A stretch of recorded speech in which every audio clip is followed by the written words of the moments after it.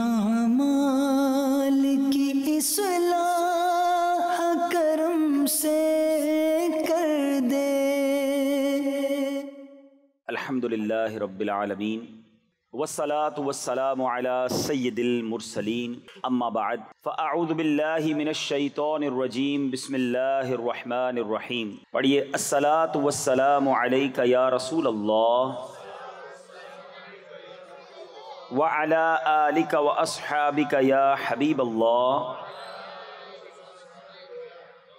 अस्सलातु वस्सलामु अलैका या नबी अल्लाह व अला आलिका व अस्हाबिका या नूर अल्लाह माह रमज़ान रहमतों की कान, मगफ़रत का पैगाम हमारे दरमियान है। रोज़ा जब इंसान रखता है तो कुछ निढाल महसूस करता है।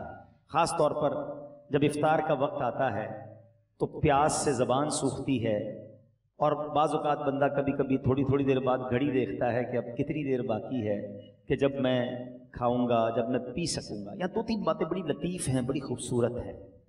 पहली बात तो ये कि इसमें जो बंदगी है ना, जो अल्लाह से मोहब्बत नज़र आती है कि सामने पानी मौजूद है, खाना भी मौजूद है मगर मेरे रब का हुक्म अभी तक नहीं हुआ है। अभी इफ्तार का वक्त नहीं हुआ है। इससे इंसान की अल्लाह से मोहब्बत छलकती है कि बंदा अल्लाह को राज़ी करने के लिए खाने से भी रुक गया, पीने से भी रुक गया, अपनी ख्वाहिशात से भी रुक गया। और रोज़े के फजाइल कितने? ये इतना ज़बरदस्त नेकी का काम है ये पूरा जिसम समझ ले इबादत कर रहा है। आपकी पूरी बॉडी जो है ना, वो इस वक्त इबादत में मसरूफ है, क्योंकि बॉडी की जो नीड पूरी होती है, वो पानी से होती है, खाने से होती है, उससे आप रुके हुए हैं। तो गोया इंसान का पूरा जिसम अल्लाह की इबादत में मसरूफ है, बदकिस्मती से। कई लोग ऐसे अब सुनते हैं कि रोज़ा रखने में सुस्ती करते हैं तो वो भी सुस्ती ना करें कि रोज़े के बारे में सुनिए कि कैसे कैसे फ़जाइल अहादीस में आए। नबी पाक सातुस्लाम फरमाते कि बेशक जन्नत में एक दरवाज़ा है जिसको रैयान कहा जाता है। उससे कयामत के दिन सिर्फ़ रोज़ादार दाखिल होंगे और कोई दाखिल नहीं होगा। स्पेशल डोर होगा जन्नत का। आप देखते हैं कभी कभी एयरपोर्ट पर जाते हैं या किसी जगह जाते हैं एक वीआईपी गेट होता है और उस वीआईपी गेट से लोग दाखिल होते हैं जो वीआईपीज होते हैं। तो ए रोजादारों तुम्हें मुबारक हो कि जन्नत में वो दरवाज़ा होगा जिसको बाबुर रैयान कहा जाता है। और उससे रोजादार जन्नत में दाखिल होंगे। और कयामत के दिन एक अनाउंसमेंट होगा, कहा जाएगा, रोजेदार कहाँ हैं? वो लोग खड़े होंगे। उनके अलावा कोई उस दरवाजे से दाखिल ना होगा। जब ये दाखिल हो जाएँगे ना तो जन्नत का वो डोर, वो दरवाज़ा बंद कर दिया जाएगा उस दिन उन लोगों को कितनी अफसोस होगा, कितनी हसरत होगी जो रमज़ान के रोज़े नहीं रखते होंगे। बल्कि हमें तो ये चाहिए कि सिर्फ़ रमज़ान के रोज़े नहीं, हम उसके बाद भी नफली रोजों की भी कोशिश किया करें। हर पीर को रोजा रखना सुन्नत है। अच्छा एक और फ़ायदा देखें। जो पूरा साल कुछ ना कुछ नफली रोज़े रखता है ना, उसको रमज़ान के रोजों में इतनी प्रॉब्लम नहीं होती, क्योंकि वो आदि होता है। Suddenly all of the sudden पूरा साल गुजरने के बाद जो अचानक रोज़े रखना शुरू करते हैं, उनको ज़्यादा बाजुकात रोजा जो है वो फील होता है। बहरहाल, नबी पाक इस्लाम का एक और फरमान सुने। ए रोजादारों, तुम्हें मुबारक हो। मेरे आका फरमाते, जिसने रमज़ान का रोजा रखा और उसकी हदूद को पहचाना और जिस चीज़ से बचना चाहिए, उससे बचा तो जो कुछ गुनाह पहले कर चुका है, उसका कफारा हो गया। यानी रोजा पिछले गुनाहों का कफारा है। रोज़े की एक और शानदार फजीलत नबी पाक फरमाते, जिसने एक दिन का रोजा रखा। अल्लाह अज्जवजल की रिजा हासिल करने के लिए अल्लाह अज्जवजल उसे जहन्नम से इतना दूर कर देगा जितना एक कौवा जो बचपन से उड़ना शुरू करे, यहाँ तक कि बूढ़ा होकर मर जाए। अच्छा कव्वे की उम्र बताई जाती है कि पाँच सौ साल होती है। पाँच सौ साल तक परिंदा उड़ेगा तो कितना दूर होगा? अल्लाह एक रोजा रखने वाले को जहन्नम से उतना दूर कर देगा। मुबारक हो उनको जो पूरा महीना रोजा रखते हैं हैं? और माशाल्लाह नफली रोज़े भी रखते हैं। एक और खूबसूरत बात, मेरे आका इस्लाम फरमाते हैं, हर शय के लिए जक़ात है। और जिसम की जक़ात रोजा है और रोजा आधा सबर है, अल्लाह अकबर। यानी आपकी बॉडी की जक़ात अदा हो रही है कि जब आप रमज़ान में रोज़े रख रहे हैं, माशाल्लाह तो हमें रोज़े की पाबंदी करनी चाहिए। एक और हदीस सुन ले, फिर मैं इंशाल्लाह रोज़े के कुछ अहकाम बयान करता हूँ। और ये बड़ी कमाल की हदीस है। नबी पाक ने फरमाया कि क़यामत वाले दिन रोज़ादारों के लिए एक सोने का दस्तरखान रखा जाएगा, जिससे वो खाएँगे हालाँकि लोग हिसाब किताब के मुंतजर होंगे। अब ज़रा सोचिए, आज भूख लग रही है, प्यास लग रही है, खाने से रुके हो ना? उस दिन जब लोगों को हिसाब किताब देना होगा? कयामत के दिन लोग हिसाब किताब दे रहे होंगे, मगर जो रोजादार होंगे, उनको कयामत के दिन जन्नती दस्तरखान लगाकर वहाँ खाना खिलाया जा रहा हो इसका मतलब क्या हुआ? इधर भूखे रह जाओ, उधर नेमतें मिलेंगी। अगर इधर खाना है, इधर रोजा नहीं रखना है तो उधर की बहरूमी है। अब आपकी मर्ज़ी है। चूज़ क्या करना है सेलेक्ट क्या करना है। अच्छा रोज़े की बहुत सारी खूबसूरतियों में एक और बड़ी कमाल की खूबसूरती क्या है कि बंदे का जो अल्लाह पर ईमान है ना, उसका लेवल बहुत हाई हो जाता है। आप जरा गौर करें, दुनिया में करोड़ों लोग रोजा रख रहे हैं, ठीक है? आपके साथ भी ऐसा हुआ होगा, आप घर में अकेले होंगे, पानी सामने मौजूद है फ्रिज के अंदर फ्रूट भी कटा हुआ है। कोई एक मुसलमान ऐसा है जो अकेले में छुपकर पानी पी लेता हो? कोई एक फ्रूट खा लेता हो, कोई नहीं देख रहा ना। चलो, कोई बात नहीं। नहीं। वजह व्हाट इज़ द रीजन यहाँ तक कि हम जब वज़ू कर रहे होते हैं, हम उस वक्त भी एहतियात कर रहे होते हैं कि कुल्ली ज़ोर से ना हो जाए, कहीं खलक के नीचे पानी ना चला जाए। नाक में पानी चढ़ाते वक्त भी एहतियात करते हैं कि नाक की हड्डी से ऊपर चला गया तो रोजा टूट जाएगा। ये क्यों? हालाँकि वज़ू खाने पे किसी को भी नहीं पता चलेगा, मैं एक दो चुल्लू पानी पी लू। लेकिन हम सब का ख्याल क्या है?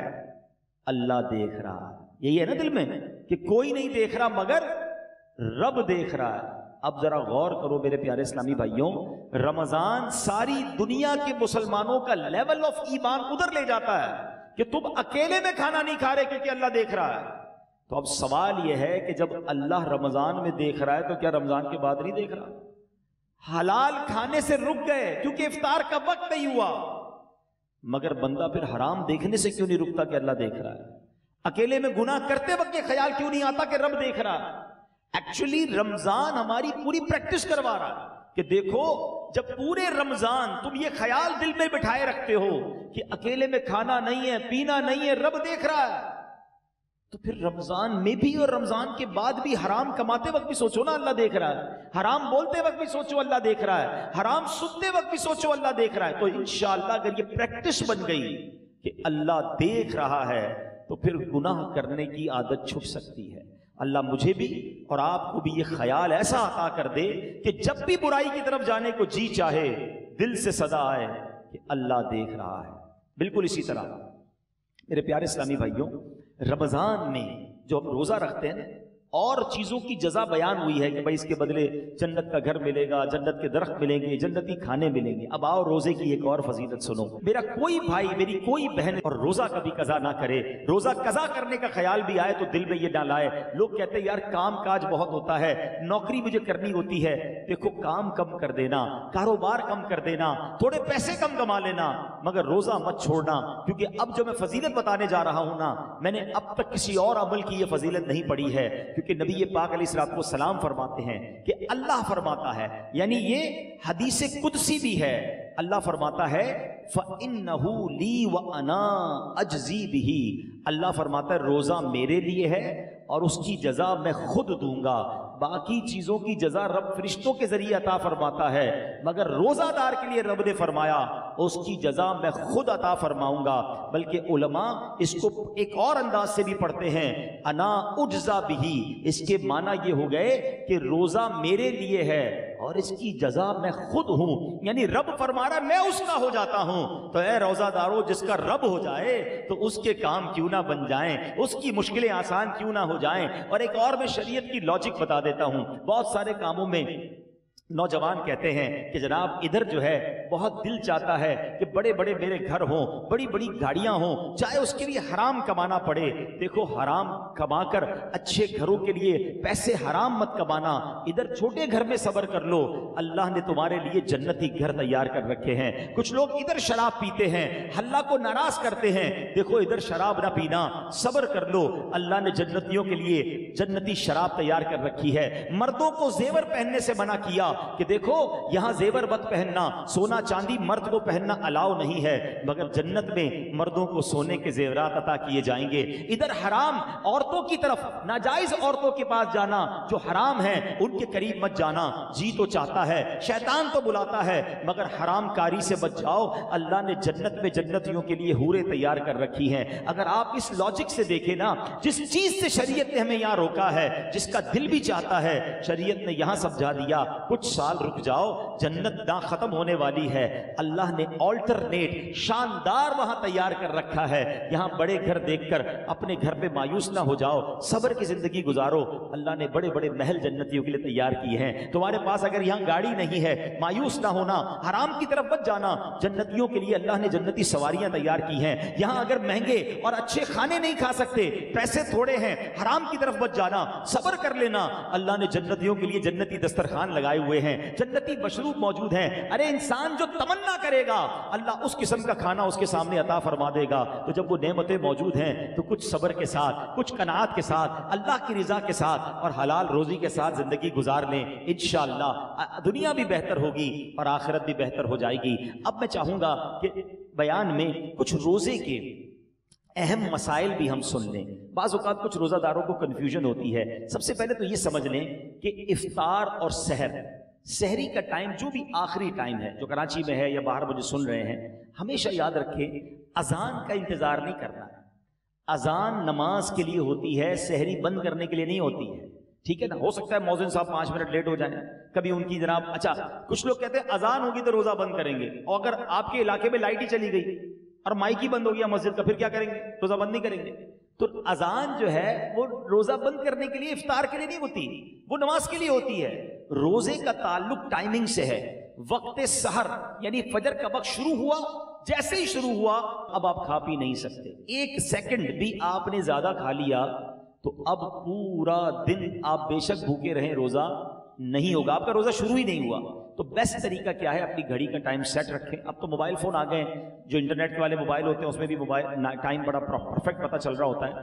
पाँच मिनट पहले कोई लाजिम थोड़ी है कि आखिरी मिनट तक खाना पीना है? पाँच मिनट पहले आप खाना पीना बंद कर दें। टूथपेस्ट वगैरह करना है तो भी कर लें और अपने तमाम मामला से फारिग हो जाए। दुरुद पाक पढ़े ताकि आप फ़र्ज़ रोजा है ना। अगले पंद्रह घंटे भूखा रहने के लिए तैयार है। तो पाँच मिनट ज़्यादा भूखा रह जाए ना भाई? पाँच मिनट, दस मिनट पहले फारिग हो जाए शहरी से। बिल्कुल इसी तरह। इफ्तार में भी आपने करना यह है कि इफ्तार में आपने घड़ी देखकर इफ्तार करना है। टाइम देखकर इफ्तार करना है। एक आध मिनट ऊपर हो जाए खैर है। पहले इफ्तार ना हो जाए। बाजू का तो होता है, लोगों की घड़ी टाइम पे नहीं होती, पाँच मिनट पहले इफ्तार कर लेते हैं। आपको पता होना चाहिए कि टाइम हुआ कि नहीं। और बिल्कुल इसी तरह, अजान मगरिब की नमाज़ के लिए होती है, इफ्तार के लिए नहीं होती। इसमें बाजू का दो गड़बड़ हो जाती है। एक ही हो जाती कि कभी मोहसिन साहब से भी गलती लग सकती है। जल्दी अजान दे दी। आपने अजान सुनी रोजा खोल लिया। तो आपका रोजा चला गया। आप टाइम देखें टाइम हुआ है कि नहीं।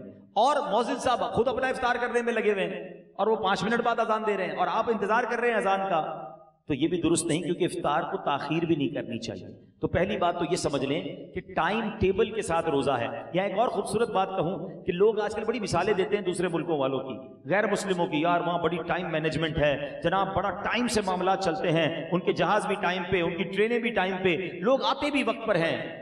मुझे बताओ, पूरी दुनिया में एक मज़हब बता दो कि जो इतना टाइम मैनेजमेंट का दर्श देता हो। अरे, हमारी तो सारी इबादतें टाइम के साथ हैं। वक्त से एक मिनट पहले आपको सहरी बंद करनी है तो रोजा होगा। वक्त गुजरने के बाद एक मिनट ऊपर चला गया, रोजा ही शुरू नहीं होगा। इफ्तार घड़ी के मुताबिक करना है। बिल्कुल सारी दुनिया के मुसलमान टाइम पे इफ्तार करते हैं। हमारी सारी अजाने, मस्जिद का टाइम टेबल देखें, आपकी ट्रेन लेट हो सकती है, जहाज़ लेट हो सकता है। हमने देखा सर्दी हो, गर्मी हो, बारिश हो, आंधी हो, तूफ़ान हो, दुनिया भर की मस्जिदों में वक्त पे अजान होती है। वक्त पे जमात होती है। लाखों मस्जिदों में कैसी शानदार टाइम मैनेजमेंट है। इस्लाम की कितनी इबादतें टाइम के साथ हैं। अरे जनाब, हम हज पे जाएँ तो कब इरफात में रहना है? कब अरफात से निकलना है? कब पहले नहीं निकलना है? कब मुजदलफा पहुँचना है? कब बिना पहुँचना है? कौन से दिन तबाफुज जियारत के हैं? Each and everything going with time इस्लाम जितना टाइम मैनेजमेंट सिखाता है ना इतना दुनिया का कोई मज़हब नहीं सिखाता। हाँ ये ज़रूर कह सकते हैं कि टाइम मैनेजमेंट इस्लाम में ज़रूर है। मुसलमान उससे सीखते नहीं हैं। तो हमें दूसरों की मिसालें देने की क्या ज़रूरत है? हमारा दीन हमें शानदार टाइम मैनेजमेंट सिखाता है। अच्छा इंजेक्शन रोज़े में अगर किसी को खून देना है, जब आप खून देंगे तो आपका वज़ू टूटेगा। लेकिन अगर आप इंजेक्शन लगवाते हैं, इससे रोजा नहीं टूटेगा ठीक है? कान में अगर कोई ड्रॉप डालता है, अगर उसका कान का पर्दा फटा हुआ नहीं है तो भी उससे रोजा नहीं टूटेगा हाँ आँख में अगर कोई ड्रॉप डालता है तो उससे उलमा फरमाते हैं, रोजा टूट जाएगा। तो हमें रोज़े के बारे में ये मालूम भी होनी चाहिए। बाज लोग जो है एहतियात नहीं करते और वो एहतियात न करने की वजह से उनका रोजा टूट जाता है। जब ये फ़र्ज़ है तो इसके अहकाम सीखना भी ज़रूरी है, इसकी एहतियातें सीखना भी ज़रूरी है। तो बहरहाल मेरे प्यारे इस्लामी भाइयों, इफ्तार के वक्त एक और काम करने वाला है, जो नॉर्मली हमारे यहाँ नहीं होता, क्योंकि रोज़ाना इफ्तार के वक्त दस लाख गुनाहगार जहन्नम से आज़ाद किए जाते हैं, रोज़ाना। ये इतना मुबारक महीना है इस पे रोज़ाना इफ्तार के वक्त दस लाख गुनागार आज़ाद जहन्नम से किए जाते हैं, और जब जुमेरात की रात आती है, और जुमे का दिन आता है तो फरमाया, हर हर लम्हे दस दस लाख गुनागार जहन्नम से आज़ाद किए जाते अब आप सोचें कि इफ्तार के वक्त हमारी क्या कैफियत होनी चाहिए? हमारे घरों में तो एक हंगामा मचा होता है, शरबत किधर है तो पकौड़े किधर है तो फला चीज़ नहीं आई। इन आइटमों के चक्कर में पढ़ने की बजाय इफ्तार के वक्त काश हाथ उठे हों। आँसू बह रहे हों और ये इल्तिजाएँ हों कि मौला आज भी दस लाख बख्शे जाएँगे, आज बख्शे जाने वालों में हमारा नाम लिख दे। तो जब इस कैफियत के साथ आप इफ्तार किया करेंगे तो इन कभी ना कभी तो हमारा भी नंबर आ जाएगा। तो आज भी मदनी चैनल पर आप देखें कि इफ्तार के वक्त क्या मंजर होता है। आँसू होते हैं, दुआएँ होती हैं, इल्तिजाएँ होती हैं। मैं तो दुनिया भर के व्यूवर से कहूँगा कि जब भी इफ्तार का वक्त आए, आप मदनी चैनल के साथ, अपने घर वालों के साथ, अमीर सुन्नत की उन अजीम दुआओं में शामिल हो जाएँ। ना ना जाने किसकी आमीन के सदके हमारा भी बेड़ा पार हो जाए। तो हमें इफ्तार का वक्त जो है, ये बड़ा मुबारक वक्त है। ये दुआओं की कबूलियत का वक्त है। फिर रमज़ान की रातें। रमज़ान की रातें कितनी मुबारक है आपको पता है? सारा साल में और आप अल्लाह से दुआ करते हैं ना, या अल्लाह, मेरी पुकार सुन ले, मेरी तौबा कबूल कर ले, मेरी मगफिरत फरमा दे, मेरा फला काम फरमा दे। हैं? हम अल्लाह से दुआ कर रहे हैं। आपको पता है, रमज़ान की रातों में क्या होता है? रहमत के फरिश्ते ये आवाज़ लगाते हैं। है कोई मांगने वाला कि उसकी तौबा कबूल की जाए? है कोई तौबा करने वाला कि उसकी तौबा कबूल की जाए? है कोई सवाली कि उसका सवाल पूरा किया जाए? यानी रमज़ान में उधर से ऑफ़र है कि मांग लो, मैं दे रहा हूँ। मगफिरत चाहिए तो मैं मगफिरत दे रहा हूँ। तौबा करनी तो मैं तौबा कबूल कर रहा हूँ। मगर आप देखें कि आज हमारी रातें कहाँ खर्च हो रही हैं? बहुत बड़ी तादाद में लोग खाने, पीने, घूमने, फिरने, क्रिकेट मैचेस, पता नहीं क्या क्या कर रहे हैं रमज़ान में। अरे अल्लाह के बंदो, ये रातें इबादत की हैं, ये रातें दुआएँ की हैं, ये मांगने की सारी ज़िंदगी पड़ी है खाने पीने की। तो खुदारा रमज़ान की रातों को जाया ना करें। और अब मैं आखिरी बात अपने बयान की कर लूँ, जो मैं समझता हूँ, मेरे बयान की सबसे अहम बात है। वो क्या है? ये अब तक तो मैंने रमज़ान में इबादत नेकियाँ करने के बारे में बात की ना। ये तो चले थोड़ी बहुत लोग कर ही रहे हैं, या करते हैं, मगर रमज़ान में गुनाह नहीं करना है। इसकी तरफ़ तवज्जो कम लोगों की है। क्यों? देखिए, रमज़ान में गुनाह की पकड़ भी ज़्यादा है। रमज़ान में गुनाह का अजाब भी ज़्यादा है, मार भी ज़्यादा पड़ेगी। क्यों? भाई, मस्जिद के बाहर कोई गुनाह करे, गुनाह है, लेकिन कोई मस्जिद के अंदर आकर गुनाह करे तो बड़ा शदीद गुनाह है। कोई अल्लाह का घर में जाकर गुनाह करेगा तो अल्लाह की गजब को दावत देगा ना। मक्के शरीफ में जाकर कोई एक नेकी करे, हदूद हरम में तो एक नेकी, एक लाख नेकी के बराबर, मगर वहाँ कोई गुनाह करे। एक लाख गुना के बराबर। इसकी वजह क्या है? इतने मुकद्दस जगह पर आए हो, जहाँ सारी दुनिया इबादत कर रही तुम इधर भी गुना कर रहे हो। बिल्कुल इसी तरह रमज़ान बड़ा मुकद्दस महीना है। जो रमज़ान में गुना करेगा हदीस में यह मजमून मिलता है कि जो एक गुना रमज़ान में करे, उसके एक साल के आमाल बर्बाद कर दिए जाएँगे। हमारे हाथ में मोबाइल होता है, मोबाइल खोला, पता नहीं क्या देख रहे हैं, क्या सुन रहे हैं हैं? खुदारा अपनी जबान पर, अपनी आँखों पर, अपने कानों पर हमें काबू रखना है। ये सिर्फ़ खाने पीने से रुकने का राम रोजा नहीं है। आँखों का रोजा यह बंदा हराम ना देखे, जबान का रोजा यह बंदा हराम ना बोले, पेट का रोजा यह बंदा हराम ना खाए। इधर जनाब, भूखे प्यासे तो हैं, बाकी सारे गुना हो रहे हैं। अहादीस में मजमून भी मिलता है कि वो शख्स जो भूखा प्यासा रहे, मगर गुनाहों से ना बचे। ऐसे बंदों के, ऐसे बंदे के भूखा प्यासा रहने की अल्लाह को कोई ज़रूरत नहीं है।